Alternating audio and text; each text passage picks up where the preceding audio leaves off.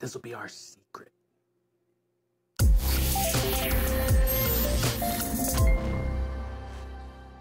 When I'm doing tedious work like hours of benchmarking, I like to catch up on my reading list, and I'm able to do that with Audible Plus.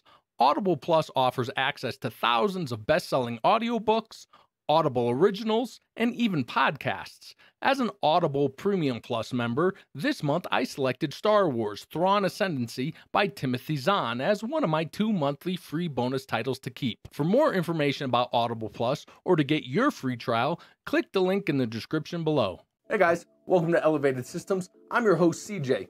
Remember a while ago there were rumors of a Windows 10X and then there were leaks of Windows 10X and it was basically just Windows 10 with a style update. But then last month, Microsoft officially squashed Windows 10X, only to have it leak out again this week. Only this time it has a different logo and it's called Windows 11. And I have a copy installed on this test bench. So let's fire it up the jank homemade test bench way. Now, I'm not going to show you where to get this or how to install it because you can just Google that, but I will tell you that it's installed and running on the bare metal system, not running in a virtual machine. I understand some people have had issues installing Windows 11, but it just takes a couple tweaks in the UEFI settings, enabling TPM and secure boot in the security settings is necessary for Windows 11 to install.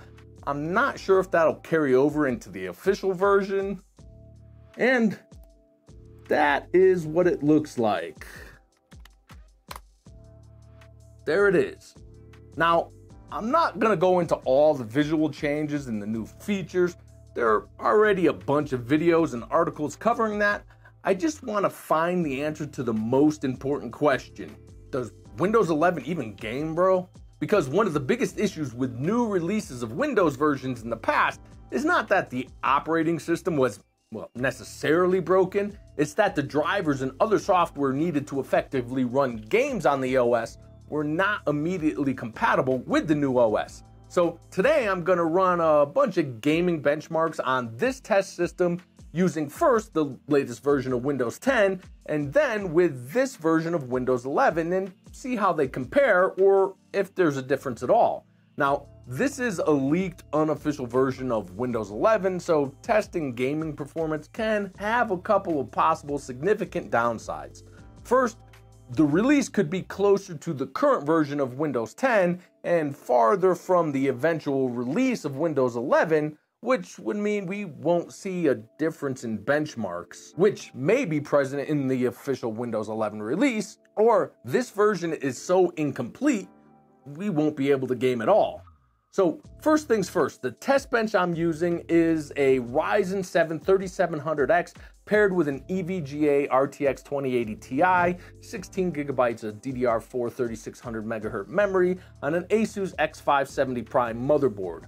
Windows 10 is a clean install of the latest update of version 21H1 and Windows 11 is build 21996 and I'm using the latest NVIDIA Game Ready driver version 466.77, which is the first good news. All the drivers and software, Steam, Epic's Game Launcher, Battle.net, MSI Afterburner, all installed. And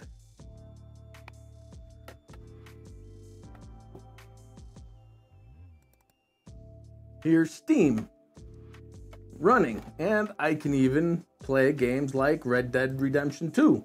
And hopefully it works.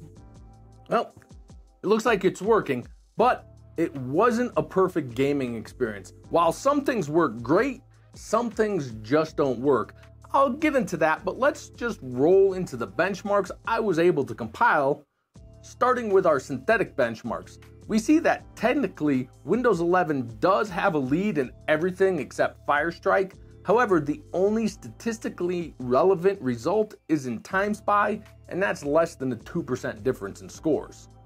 Moving on to actual gaming benchmarks, starting at 1080p at Ultra or the highest presets for each game, again, Windows 11 does just pull ahead in everything except Borderlands 3. Again, all these results are within the margin of error, and ultimately, Windows 11 only wins by a single frame on average.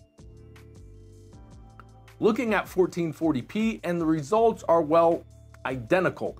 Everything is within the margin of error, and this time Windows 11 squeaks out the victory by just 3 FPS on average. So, do these results actually tell us anything, and why, beside the synthetics, were there just four games benchmarked? Well, to the first point, I think the results tell me that this Windows 11 build is essentially Windows 10 in a different suit. In fact, the 3D Mark results were marked as valid because 3D Mark recognized Windows 11 as Windows 10, and although yes, the results are all within the margin of error, I think Windows 11's victory is valid, which is most likely due to its stripped down version. It was definitely running fewer processes than its Win 10 competitor.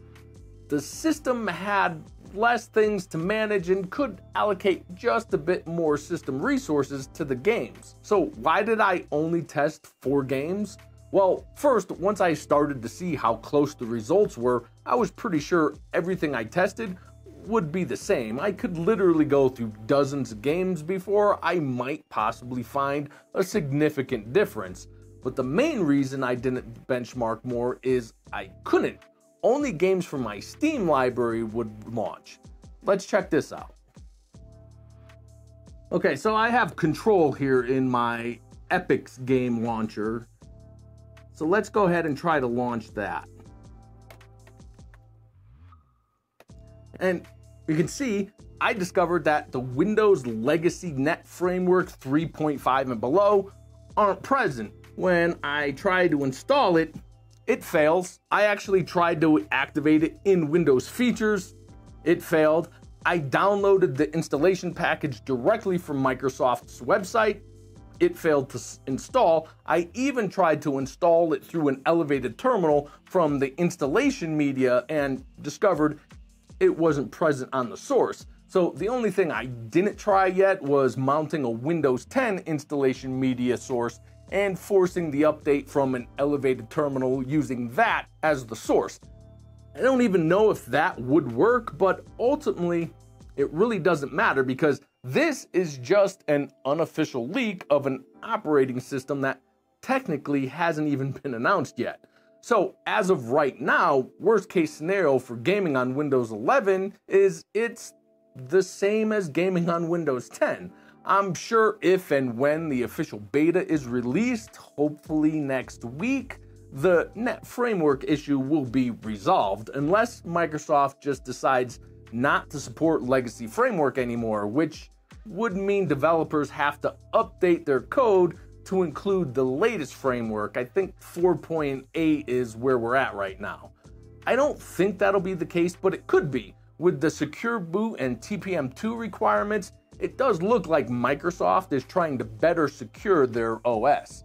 In any case, when the public beta version is released, I'll follow up with more gaming performance and see if there are any changes and let you know if it's worth upgrading your gaming rig with Windows 11. Make sure you get subscribed to catch that. If you have any questions, be sure to ask because I think that's it for this one. Pretty simple. As always, be sure to hit that like, and if you have any questions, be sure to ask. I hope to see you in the next one. Until then, stay safe.